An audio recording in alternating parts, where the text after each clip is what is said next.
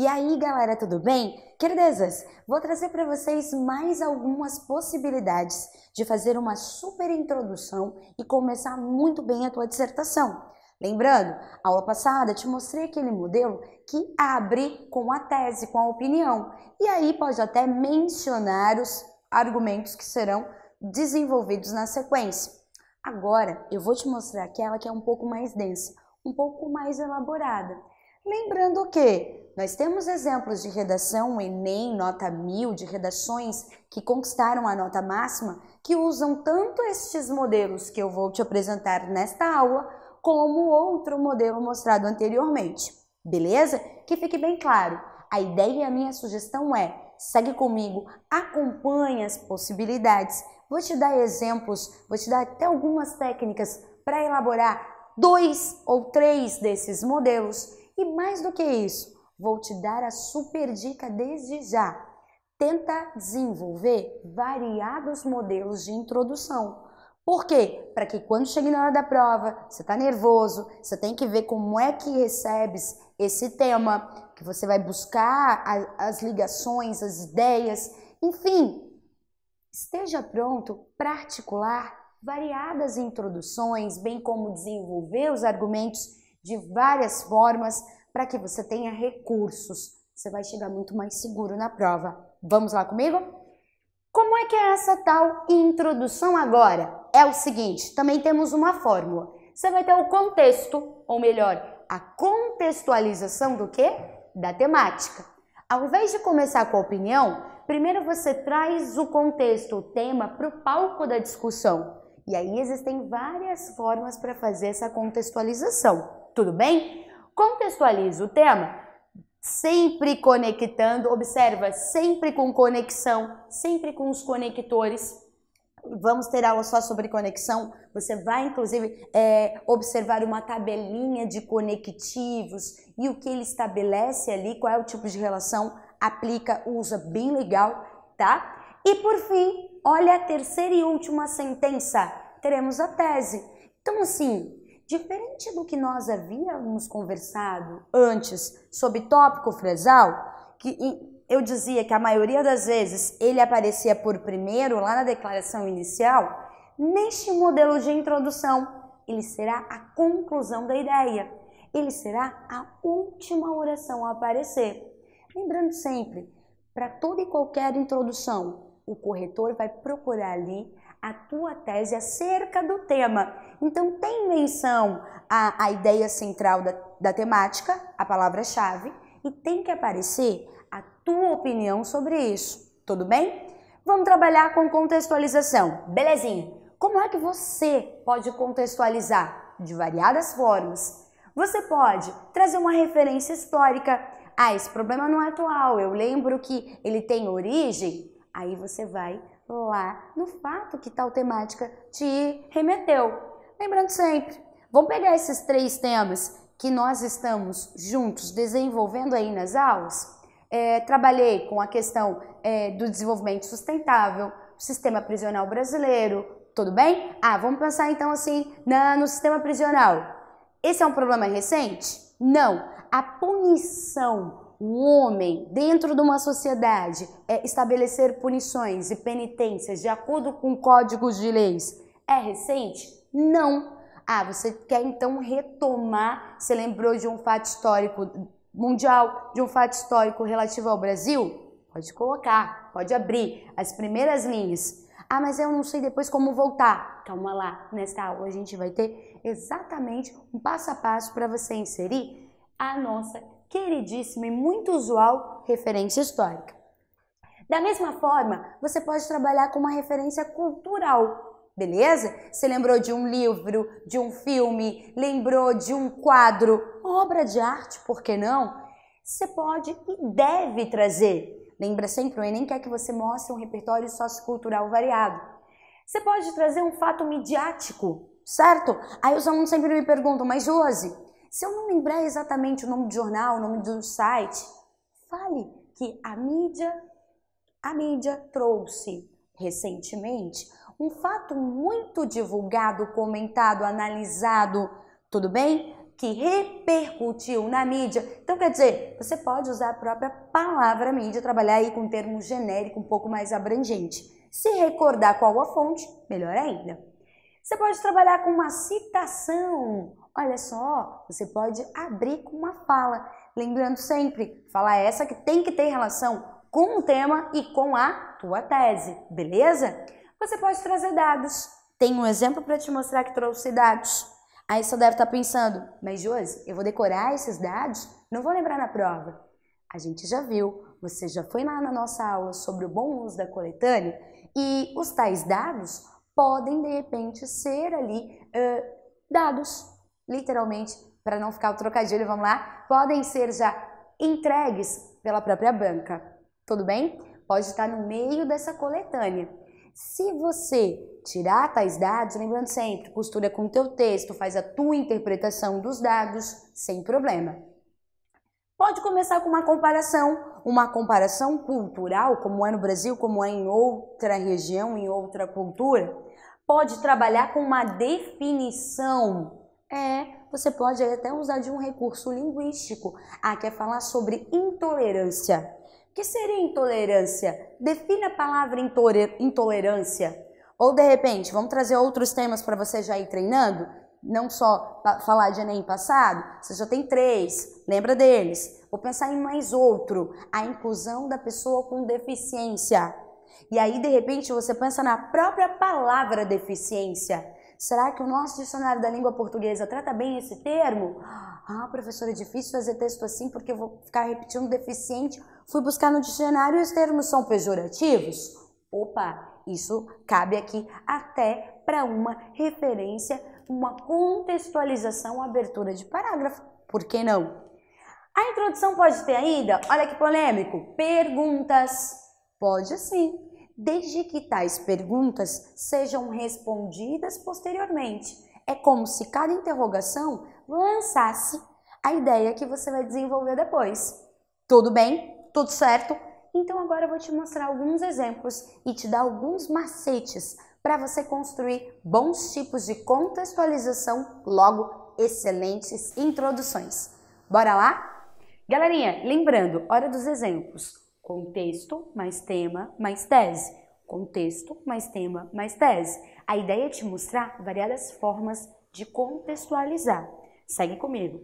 Primeira delas, a violência contra a mulher no Brasil tem apresentado aumentos significativos nas últimas décadas. De acordo com o mapa da violência de 2012, o número de mortes por essa causa aumentou em 230% no período de 1980 a 2010. Além da física, o balanço de 2014 relatou cerca de 48% de outros tipos de violência contra a mulher, dentre esses a psicológica. Nesse âmbito, pode-se analisar que essa problemática persiste por ter raízes históricas e ideológicas. Pois bem, o exercício é o seguinte: contexto mais tema mais tese. Forma de contextualização aqui? Hã? Eu ouvi dados? Exatamente. O que, que fez ali o candidato? Ele usou dos dados da própria coletânea. Não lembra? Pulou essa aula? A gente já falou sobre fazer bom uso da coletânea. Usar bem diferente de copiar. E aí ele foi lá e contextualizou, trouxe para o contexto de discussão através de tais dados. Contexto, tema, refletiu um pouquinho sobre o tema, apresentou aí o tema. Lembra que não é só trazer o dado, é para é, refletir sobre e é, o fruto dessa reflexão ou essa reflexão será o quê? Conectivo nesse âmbito e aí vai aparecer a tese, contexto mais tema mais tese. Pode ser uma possibilidade? Pode ser, mais um recurso. Vamos conhecer aí outra forma de contextualização? De novo, vai pensando aí em casa qual foi o tipo de contextualização utilizado. Leitura. De acordo com Albert Camus, escritor argelino do século XX, se houver falhas na conciliação entre justiça e liberdade, haverá intempéries de amplo, amplo espectro. Nesse sentido, a intolerância religiosa no Brasil fere não somente preconceitos éticos e morais, mas também constitui constitucionais estabelecidos pela Carta Magna do país. Dessa forma, observa-se que a liberdade de crença nacional reflete um cenário desafiador, seja a partir de reflexo histórico, seja pelo descumprimento de cláusulas pétreas. Pois bem, contexto, tema e tese, qual foi a forma de contextualização? Ele trouxe aí, de forma indireta, uma citação, uma fala de um escritor. Lembra que falei? Você pode começar com tal citação. Pode sim. Não sabe como citar, não, não consegue, não sabe quando que é direta, quando que é indireta? Olha lá, de acordo com, e aí falou o nome dele. Se fosse direta, deveria vir com aspas, mas não, fez uma paráfrase, falou com as próprias palavras. Ponto. Nesse sentido, sempre estabelecendo a conexão, expande a ideia e aí conclui com a tese que vai ser defendida ao longo do texto. Vamos aos exemplos, não para não. Várias formas. Mas antes, ah, te perguntei se você sabia. Se não souber ou se souber, veja mais possibilidades. Ah, Josi, gosto de começar com citação, porque eu até aprendi algumas, inclusive no nosso curso. Existem algumas citações que são boas desde que você saiba usar e saiba como mencionar. Algumas possibilidades. De acordo, segundo, conforme, tudo bem?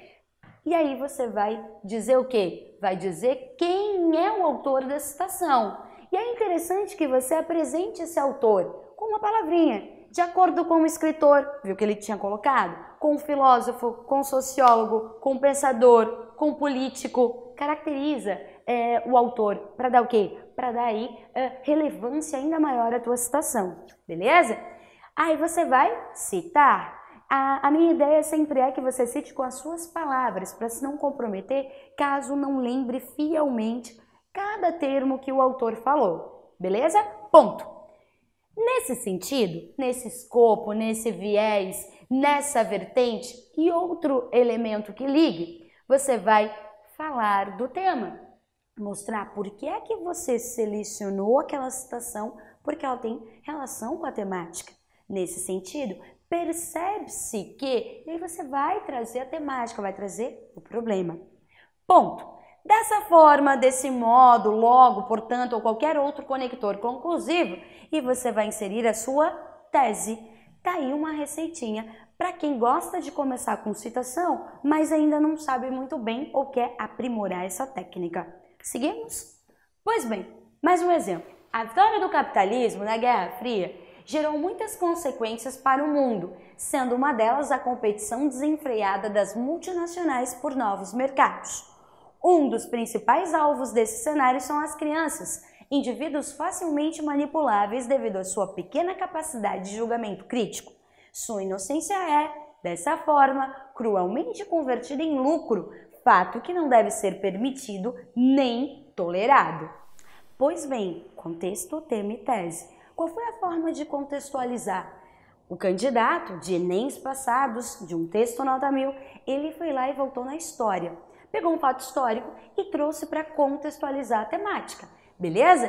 Trouxe tal fato. Ponto. Um dos principais alvos, não adianta trazer sem relacionar. O que que fez? Trabalhou aí com razões pela, pelas quais ele trouxe. E aí vai, claro, trazer para o tema. Contexto mais tema. Trouxe a criança como alvo. Tá lembrando? Isso aí é de Enem, edição do Enem, que falava da publicidade infantil em questão no Brasil. Para finalizar, terceira e última sentença. Ponto. Sua inocência é dessa forma. Tem conector. Foi deslocado, trouxe as vírgulas. E aí vai apresentar a tese a ser defendida ao longo do texto. Hum, Josi, eu adoro começar com história. Será que tem alguns exemplos também para gente? Assim como terá de citação, terá de momentos históricos relacionados a eixos temáticos? Teremos. Teremos e você vai lá. Só que antes desde já te preparo. Algumas formas de você inserir uma contextualização histórica. Possibilidades. Olha só, você pode começar dizendo a ou o, a questão da intolerância religiosa no Brasil, o problema do racismo, tudo bem? Insira o tema. Não é se houver usado problema antes, não usa problema depois. diga questão, diga algo, enfim, para não repetir. Mas, supondo que você começou com a intolerância religiosa no Brasil, não é um problema atual. E aí você vai lá. Como já se observava? E você vai trazer.